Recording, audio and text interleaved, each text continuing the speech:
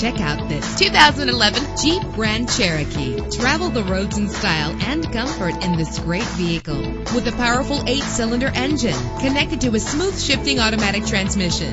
Navigation included to help you get to your destination with ease. Stand out from the crowd with premium wheels. You will appreciate the safety feature of anti-lock brakes. There's nothing like a sunroof on a nice day. And memory settings are one of many features. Plus, enjoy these notable features that are included in this vehicle. Air conditioning, power door locks, power windows, power steering, cruise control, an alarm system, an AM FM stereo with a CD player. Let us put you in the driver's seat today. Call or click to contact us.